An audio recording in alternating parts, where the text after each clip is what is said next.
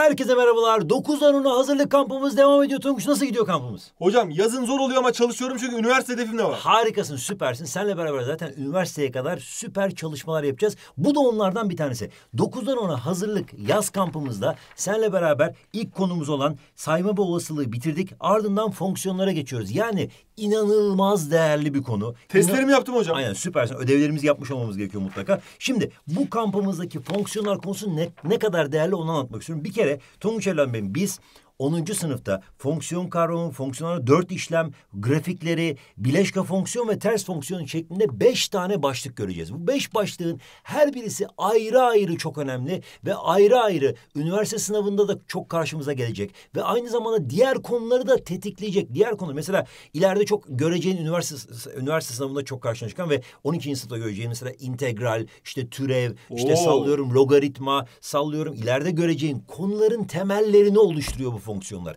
Dolayısıyla sinüs, işte kosinüs, trigonometri var. Tanjant, Mesela kotanjant. trigonometrik fonksiyonlar var. İşte süper. Onlar trigonometrik fonksiyonlar. İşte dolayısıyla inanılmaz da çok çok önemli bir konunun içerisindeyiz. Gerçekten yani haddinden daha fazla önemli bir konunun içerisindeyiz ve kendi başına öneminin yanında bir de diğer konuların içerisine çıkması yüzünden mesela üstü sayıları bilmiyorsan matematiği bilmiyorsun gibi bir şey. Yani karekök sayıları bilmiyorsan hani matematiği bilmiyorsun gibi değerlendirirler ya. Evet hocam. Aynı onun gibi gerçekten çok temel bir matematik konusu ve bundan sonra 10, 11, 12 hep karşımıza gelecek. Üniversite sınavında karşımıza gelecek. Hatta inşallah üniversiteye gideceksin. İnşallah üniversitede güzel bölümler okuyacaksın. Üniversitede bile peşini bırakmayacak bir konunun içerisindeyiz gerçekten de. Peki biz bu konunun temellerini nerede öğrendik? Biliyorsun 9-10 önemli hazırlık kampımızda bi- biliyorsun eski konuların tekrarlarını yaparak yeni konulara giriş yaparak ilerliyoruz. Eski konuları aslında biz ortaokulda bunların temellerini koordinat düzleminde mesela fonksiyon grafiklerinin temellerini atmıştık. Aynı zamanda doğrusal grafik gö-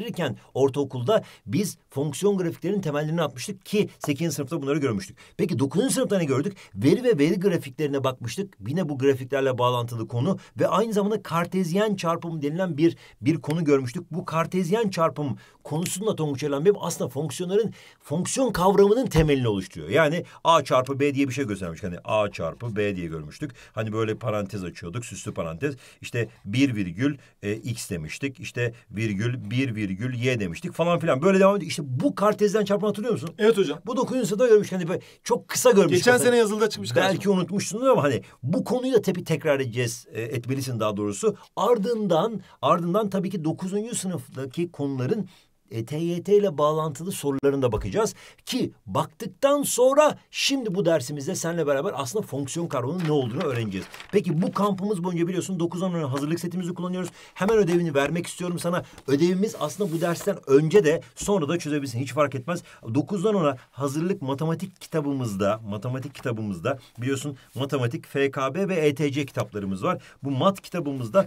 fonksiyonlar e, kısmını açıyorsun Tonguç Celal Bey. E, burada fonksiyonlar kısmını açtığımız zaman burada aslında eski konuların tekrarı olan Evet burada sayfa 30'dan başlıyoruz. Koordinat düzlemiyle başlıyor. Aynen öyle. Koordinat düzlemi var. Aynı zamanda kartezyen çarpım veri ve veri grafikleri var. Ve 9'dan TYT'ye sayfa 40 e, 4'e kadar 45'e kadar gidiyorsun Tonguç Eren Bey. Bu kadar yapsan bakayım ne vermişiz ödev burada tebrik ediyorum. 46'ya kadar. 46'ya kadar yapmanı istiyorum Tonguç Eren Bey. Buraya kadar yaparsan Konu e, zor hocam. Öde- Evet tebrik ediyorum. Bütün fonksiyonları tamamlamış olsun. Yapamadığın soruların hepsinin çözümünü zaten kare kodda bakıyorsun merak etme diyoruz. Hadi bakalım o zaman süper bir şekilde çok güzel bir konu anlatımıyla seni baş başa bırakıyorum ve hadi bakalım dersimizi dinleyelim ardından da süper bir şekilde konumuzu öğrenelim.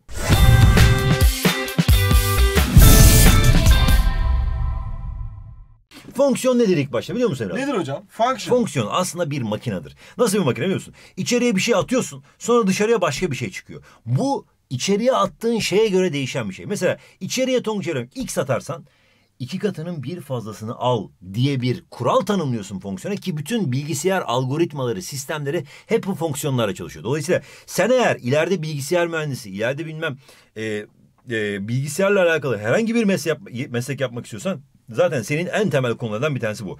İçeriye x atıyorsun 2x artı 3 çıkıyor. Neden? Çünkü sen kural tanımlamışsın. İki katının bir fazlasını al demiştin. İçeriye o zaman x atarsak 2 çarpı x artı 1 çıkıyor. İçeriye 3 atarsak iki katının bir fazlası ya. 2 çarpı 3 artı 1 çıkıyor. İçeriye mesela Tonguç Evren Bey'im öküz atsak ne olur? Hayır öküz atsak ne olur içeriye? 2 çarpı öküz artı 1 çıkar. Aslında bu kadar basit bir mantık diyoruz fonksiyonlara.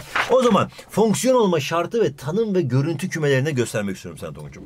Tonguç hemen söyler misin bana? Çocuklar ve anneler kümesi varsa mesela Alp'in annesi kimdir Tonguç evladım benim? Ayşe Hanım. Harika. Tonguç'un annesi kimdir Tonguç evladım benim? Türkan Hanım. Süper. Peki Tongül'ün annesi kimdir Tonguç Cemile evladım? benim? Hanım. Harika. Burcu'nun annesi kimdir Tonguç evladım benim? Ee, O da Cemile Hanım. Cemile. Dolayısıyla herkesin bir annesi yok mu Tonguç evladım? Var. Harika. Dolayısıyla şöyle düşüneceğiz. Diyor ki buradaki her elemanın mutlaka bu taraftan bir annesi olması gerekiyor.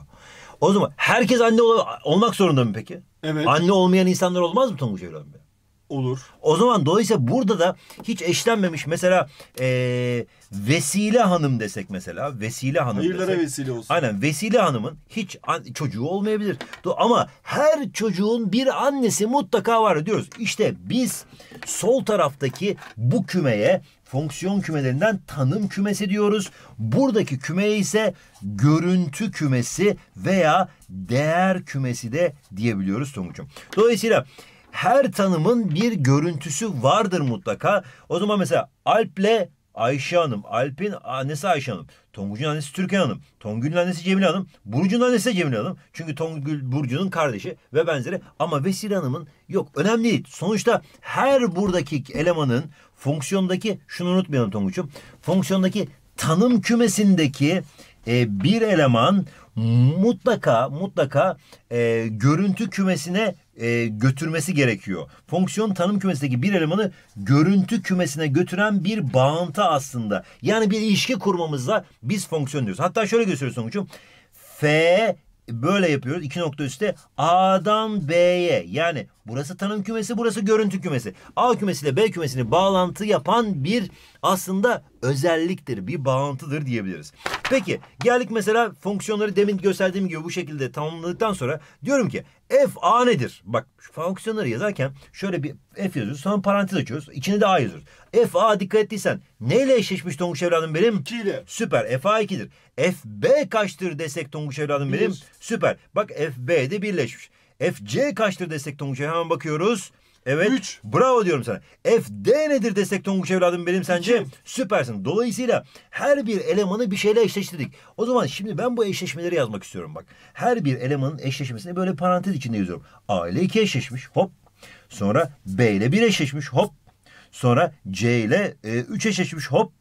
Sonra D ile 2 eşleşmiş hop. İşte bu sıralı ikililer de bizim kartezyen çarpımımızda eskiden gördüğümüz şeyin aslında devamı. Bu sıralı ikilileri birleştirerekten bir küme oluşturuyoruz. Buna aslında biz fonksiyon kümesi diyoruz Tonguç evladım benim. Dolayısıyla F kümesi eşittir. Eşittir de yazarız hatta. Normal süslü parantezimi açıyoruz çünkü bir küme oluşturuyoruz. Bu kümenin toplamda 1, 2, 3, 4 tane eleman var. Virgüllerle ayrılmış 4 tane eleman var. Ve bu elemanlarda her bir sıralı ikili demek aslında diyor. Burada gördüğümüz sıralı ikililer. Peki fx eşittir 2x artı 3 kuralını versin. Buna biz fonksiyonun kuralı diyoruz. Bu kurala göre biz her şeyi yapabiliriz. Ne demek bu kurala göre her şeyi yapabiliriz? Mesela e, 4 dediğimiz şey bak fx dediğimiz şeyde şunu unutmayalım Tonguç'um. F e, şeyi e, fonksiyonu A'dan B'ye gidiyor. A'dan B'ye giderken şöyle bir mantığımız da var. Güle güle. X'ten Y'ye gidiyor mantığı da vardır aslında. Veya şuradaki kural var ya Tonguç'um. Evet hocam. Buradaki kural şunu şunları parantezden hepsini geç. Şuradan şuraya gidiyor. Yani x'ten 2x artı 3'e gidiyor. x'ten 2x x atıyorsun 2x artı 3 çıkıyor. Neymiş kuralı? 2 ile çarpıp 3 ekle. O zaman bak f4 dersem eğer ben 4 bak hemen f4 diyorum ya. Bak f f'in içine 4 koyuyorum. f4 dediğimiz şey. x yerine 4 yazacağım. Eşittir. 2 yazıyor. Burada görünmez bir çarpı var. Çarpı. X yerine artık 4 yazıyorum. Bak burada x yerine 4 yazmışım. Burada da x yerine 4 yazacağım. 4 yazıyorum. Artı 3 diyorum. Hemen çarpalım. 11. O zaman F4 11 denilen bir elemana gidecek. O zaman bununla bunu eşleştirebilirim. Peki F1'e bakalım. F1 dediğimiz şeyde bak bununla aynı şey aslında bak. F yazıyor, parantez açılmış. Sonra X yazılmış. X yerine 1 yazılmış demek ki. Sonra parantez kapatılmış. Sonra eşittir yazılmış. Sonra 2 çarpı X yazılmış. X yerine ne yazmıştık demin? Burada 1 yazmış. O zaman burada 1 yazacağız. 1 artı 3 diyorum. Bak Bunu işlettiğim zaman 5'e gidiyor. Demek ki birden 5'e giden bir eleman oluyor. Peki F0'a bakalım Tonguç'um. F0 dediğim şeyde 2 çarpı 0 artı 3 yani 3 çıkar. E, o zaman bununla da 3 eşleşmiş. F eksi 1 dediğimiz zımbırtı ise 2 çarpı eksi 1 artı 3'tür. Yani eksi 2 artı 3'ten 1 çıkar Tonguç evladım benim. İşte bununla bu eşleşiyor. O zaman B kümesi dediğimiz şey aslında görüntü kümesi dediğimiz şey 1, 3, 5 ve 11 elemanlardan oluşan 4 elemanlı bir kümedir. İşte kurala göre tanım kümesinden yola çıkarak görüntü kümesini biz bulabiliyoruz. Fonksiyonlardaki mantık aslında böyle kümelerle oyun oynamak gibi bir şey aslında diyoruz. Peki fonksiyon çeşidine bakalım sana. Bir parçalı fonksiyon var. Birim fonksiyon var. Ondan sonra sabit fonksiyon var. Ondan sonra doğrusal fonksiyon Var var. da var. Var da var. Birebir örten içine bir sürü, bir sürü fonksiyon çeşidi var. Sen, çift fonksiyon, tek fonksiyon. Şimdi bunları seninle hemen hızlı bir şekilde tekrar edelim. Şimdi parçalı fonksiyon dediğimiz şey aslında bir fonksiyon iki farklı tanım kümesine sahip. Mesela bak iki farklı kurala sahip. Mesela f x eşittir yazmış. Sonra açmış 2x eksi 1. Ama demiş virgül x eksi x birden küçükse demiş. Veya demiş x kare olur demiş. Ama demiş x birden büyükse demiş. F3 dediğimiz zaman burada yazan x yani burada yazan x birden küçük mü birden büyük mü Tonguç evladım benim tabii ki? Büyük. Süpersin. Dolayısıyla ben bu kuralı kullanmam gerekiyor. fx eşittir x kareymiş. O zaman f3 eşittir 3 karedir. Dolayısıyla bunun cevabı 9 diyebiliriz. Peki eksi 1 birden büyük mü birden küçük mü Tonguç evladım benim? Dolayısıyla şu kuralı kullanmam gerekiyor. fx eşittir 2x eksi 1 ise f eksi 1 eşittir 2'ye eksi 1 eksi 1'dir. Yani 2 çarpı x yerine artık eksi 1 yazıyorum. Sonuçta da eksi 3 çıkar doğru cevabımız diyoruz. Geldik peki birim yani etkisiz etkisiz e, eleman dediğimiz şeye aslında etkisiz fonksiyona her elemanı her elemanı kendisine götüren e, fonksiyondur. Mesela fx eşittir nedir? x'tir. F5 eşittir 5'tir. F öküz nedir Tonguç? Efendim hocam? Hayır sana değil mi? F öküz nedir sence? Yine öküzdür. Çünkü etkisizdir. Sığır değil midir hocam? İçine ne girerse kendisine gidiyor. Tebrik ediyorum seni. Geldik sabit fonksiyona. Sabit fonksiyonu çok basit. Bu da aynı, bu da aynı, bu da aynı yere gidiyor. Yani bu sağ tarafta görüntü kümesi tek bir eleman e, var gibi düşüneceğiz. Ve hepsi de aynı yere gidiyordu gibi düşüneceğiz. F1 eşittir K, F2 eşittir K, F3 eşittir K, F öküz eşittir K. Nedir Tonguç Erhan söyler misin bakayım? Hayır yine K'dır. Yani sonuçta buradaki her eleman buradaki K elemanına gidiyor diyoruz. Doğrusal fonksiyonsa e, fx eşittir ax artı b şeklinde yazılan fonksiyonlara diyoruz. fx eşittir ax artı b şeklinde olduğu için bir doğru grafiği çiziliyor aslında. fx e, e, dediğimiz şey aslında bir doğru. Nasıl mesela şu zımbırtıyı yapmaya çalışalım seninle beraber. Bak 1'de 2 oluyormuş, 2'de 4 oluyormuş, 3'te 6 oluyormuş. Dikkat ettiysen Bak burası x ekseni burası y ekseni değil mi Tonguç'um? Evet. Aslında fonksiyonlarda y ekseni dediğimiz şey aslında fx'te aynı şey. Yani x'de e, fx gibi. x'de y diyeceğimize artık x'te fx diyoruz. O zaman 1 koyduğumuzda 2 çıkıyor. 2 koyduğumuzda 4 çıkıyor. 3 koyduğumuzda 6 çıkıyor. O zaman iki katı. fx eşittir 2x diyoruz. Bitti bu kadar. Ve doğru grafiği bak ax artı b gibi. Burada ax var tam eyvallah. 2, 2x var. Artı b'si de demek ki hiçbir şey yok. Yani 0 diyoruz. Dolayısıyla fx eşittir 2x e, bizim fonksiyonumuzdur diyoruz. Birebir fonksiyon dediğimiz, örten fonksiyon dediğimiz şeyin özelliği de aslında çok basit. Birebir. Herkes biri. Bu buna gidiyor. Bu da buna gidiyor. Bu boş kalıyor ama önemli değil. Sonuçta bir eleman bir eleman. Ama şöyle bir şey olamaz sonuç. Mesela şu birebir mi desen x, y, z desen A, B, C desen mesela şu birebir değildir. Çünkü bununla bir eleman eşleşmemiş. Bununla iki eleman eşleşmiş buradan. Bu birebir değildir. Zaten bu e, şu anda fonksiyondur ama e, burada boşta eleman kalabilir ama burada boşta eleman kalırsa fonksiyon olmaz. Tanım kümesindeki her elemanın her çocuğun bir annesi olmak zorunda unutmayalım. Aynen tebrik ediyorum seni. Mesela örten fonksiyonsa buradaki bütün elemanlar eşleşmeli. Buradaki eşleşme mesela bu örten fonksiyon değildi. Neden? Çünkü burada boşta eleman kalmış. Ama bu örten fonksiyon Açıkta kalmış. Görüntü kümesinde hiç mesela şurada mesela C olsaydı o zaman bu örten fonksiyon olmazdı. İçine fonksiyonsa örten olmayan mesela şu fonksiyon bir içine fonksiyondur. Yani değer kümesinde, görüntü kümesinde boşta eleman kalmıştır. Ee, değer kümesinde boşta eleman kalmıştır dediğimiz e, fonksiyonları biz içine fonksiyon diyoruz. Bu örten bu içine. Yani hepsi örtülmüş. Annelerin hepsi dolu. Burada anneler boş olabilir. Hatta anne olmayabilir bazıları diyebiliriz. Geldik çift fonksiyona. Çift fonksiyonsa f eksi x eşittir f x ise yani eksi de yazsam artı da yazsam aynı şeyse çift fonksiyonu. Mesela örnek ver- vermek istiyorum sana. fx eşittir x kare. Ya ben f eksi 2 de yazsam, f 2 de yazsam sonuçta eksi 2'nin karesi 2'nin karesi yine 4 olduğu için aynı sonucu vermiyor mu Allah'ını seversen? Hocam. O zaman bu çift fonksiyondur. Ama bak f eksi x eşittir eksi f x'e yani içine eksi yazdığım zaman eksilisi sonuç çıkıyorsa ki buradaki gibi mesela Mesela f eksi 2 yazsam eksi 2'nin kübü eksi 8 çıkar. F 2 yazsam 2'nin kübü 8 çıkar. Bak eksilisi çıkıyor eksi yazınca. İşte buna da tek fonksiyon diyoruz Tonguç'um.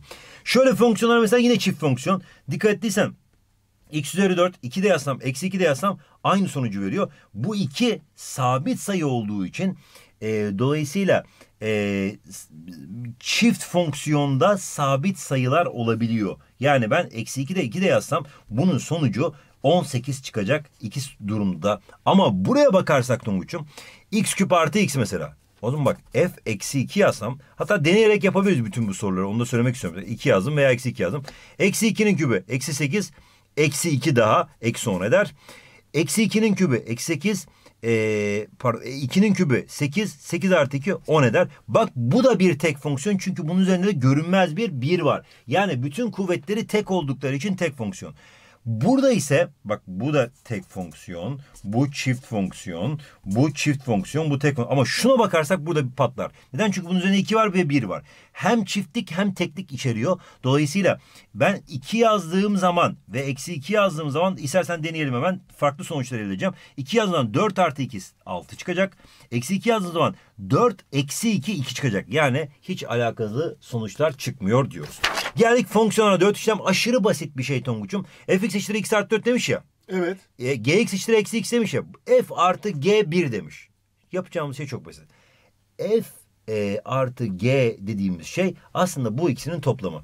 Yani x artı 4 eksi x topladığımız zaman ne eder? 4 eder. E, yerine 1 yazdığımız zaman e, yazacak bir şey yok. O zaman cevabımızın 4 olduğunu söyleyebiliriz. E, hatta şöyle yapalım. Nasıl şöyle yapalım hocam? F bak F, F artı G1 şu demek. F1 artı G1 demek. Bu da aynı şey sonucu verecek. Bak F1 yazarsak buraya 1 yazdığım zaman 1 artı 4'ten 5 çıkar. G1 yazdığım zaman eksi 1 çıkar. 5 eksi 1'den 4 çıkar. Bunun cevabı bu. F eksi G1 de F1 eksi G1'dir. Zaten F1'i bulabiliriz. 1 artı 4'ten 5 çıkar. Ee, G1 de eksi 1 çıkacak. Eksi 1 çıkar. Eksi eksi 6 çıkar diyebiliriz. Burada da aynı şekilde F2 çarpı G2 yani birbirinden ayırıyoruz sadece. Normalde işlemleri aynı gözüktüğü gibi çarpma toplama çıkıyor. Hiç aynı şey fark etmez. F2'yi yapalım. 2 artı 4'ten 6 çıkar. G2'yi yaparsak eksi 2 çıkacak. Ek, e, 6 çarpı eksi 2 de eksi 12 çıkacak Tonguç'um. Mesela aynı şekilde F2 bölü G2 yapmam gerekiyor burada. F2 demin bulduğumuz gibi 6 idi. Burada da eksi 2 bulmuştuk. Sonuçta eksi 3 çıkacak. Yani buradaki işlemler neyse onları yapıyoruz. Aşırı keko bir konu diyoruz. Fonksiyon grafikleri de çok çok hayati ve önemli bir konu aslında. Gelir değil mi hocam? Mesela, kesinlikle. Hem okul sınavında hem üniversite sınavında çok soru geliyor bundan. Mesela fx eşittir x artı 2 demiş. Ben burada yapmam gereken şey şu aslında. Diyorum ki x'e bir kere ben tanım kümesi diyorum. Ee, ve fx dediğimiz şey ise değer kümesi veya görüntü kümesi diyorum Tonguç Öğrentim. Değer kümesi demek daha mantıklı. Peki ben x yerine mesela 0 yazdığım zaman 0 artı 2 kaç eder? 2 çıkar. Peki yani şurası aslında y kısmı oluyor. Yani kuralımız oluyor. Mesela x'e 1 yazdığım zaman 1 artı 2 3 çıkar. X'e 2 yazdığım zaman 2 artı 2 4 çıkar. X'e eksi 1 yazdım mesela sallıyorum. Eksi 1 artı 2 1 çıkar. İşte bu noktaları bulmaya çalışıyorum. 0'a 2 noktası 0'a 2 noktası burası. Hop burası. 1'e 3 noktası 1'e 3 noktası şurası. 1, 3 burası. E, 2'ye 4 noktası 2'ye 4 noktası şurası. E, eksi 1'e 1 noktası eksi 1'e 1 noktası burası. İşte bu, bu noktaları birleştirdiğim zaman karşıma çıkan fonksiyon aslında bizim grafiğimizdir diyoruz Tonguç evladım benim. Geldik bileşke fonksiyona bileşke artık bitiriyoruz konumuzu fonksiyon. Çok normalde önemli ve uzun bir konu. Çok hızlı bir şekilde seninle işlemiş olduk. Bak bileşke fonksiyonu fonksiyonları birleştirmek. Bak G e, f fonksiyonu mesela B ile C kümesini bağlıyor. E, G fonksiyonu da A ile B kümesini alıyor. Genellikle fonksiyonda F ve G harflerini çok kullanırız. Hatta fog diye bir şey vardır. Fog da F ile G'nin birleşmiş halidir. F, G'nin içine girmiş demek aslında fogda. Ee, peki buradaki e, buradaki yuvarlak bir anda Tonguç'un köşeli paranteze dönüşüyor ve içine G'yi alıyor. G'yi yutuyor bu yuvarlakla. O yüzden F, Gx demek aslında. Ve böyle gösteriliyor Tonguç Erdoğan'ın benim. Ee, ve şu, bunu yaparkendeki mantığımız şu. F, Gx'in içine girerken aslında dikkat ettiysen bak e, sonuçta bak X yazıyoruz ya. Gx, Gx nereye gidiyor? Y çıkmıyor mu Allah'ını seversen Gx'e? Evet hocam. Dolayısıyla F Y çıkıyor. F Y nereye gidiyor dikkat etsen hop Z'ye bağlanmış oluyor. İşte mesela bu, bu işin özetini anlatmak istiyorum sana. Mesela gof eksi bir dedi. Hemen diyorsun ki bu yuvarlağı şöyle köşeli bir paranteze dönüştürüp f eksi bir yazalım içine diyorsun. Zaten f eksi bir yazıyordu burada. Ben bunu bunun içine alıyorum. Hop bunun içine aldıktan sonra f eksi 1 bulmaya çalışıyorum. f eksi 1 dediğim şey bak x yerine eksi 1 yazarsak buraya da eksi 1 yazarım. 2 çarpı eksi 1'den eksi 2 çıkar Tonguç'um. O zaman g eksi 2'yi bulmam gerekiyor. g yerine eksi 2 yazarsam eksi 2'nin karesi artı 1. Yani 4 artı 1'den 5 çıkar. Bunun cevabı da demek ki 5'miş diyebiliriz. Ters fonksiyonsa artık son konumuz. Hatta 10. sınıftaki fonksiyonun en son konusu. Güzel bir giriş yaptık seninle beraber. Büyük, çok devasa bir üniteyi çok hızlı bir şekilde intro şeklinde böyle fragman gibi görmüş olduk aslında. Bak A ile B kümesini bağlayan F fonksiyonu var. Eğer ben birden 2'ye gidiyorsam F1 eşittir A'dır. 2'den B'ye gidiyorsam da F2 eşittir B'dir. Ama ben diyorum ki ben terse gitmek istiyorum. Sen bana karışamazsın Hayır, ki. gitmeyin hocam. O zaman diyorum ki B'den A'ya gideceğim. B'den A'ya giden fonksiyon da F üzerinde eksi 1. Yani F ters fonksiyonudur. O da F ters A aslında 1'e gider. Yani buradan terse doğru gidiyorum bak. Buradan terse gidiyorum. Yani buradan buraya giden fonksiyona F ters 1 diyorum. F ters e, B de hop 2'ye gider. Yani bununla bunu, bununla bunu eşleştiriyoruz. Mesela örnek olarak fx eşittir 2x artı ise f ters x nedir demiş. Hatta şöyle e, şöyle yapalım.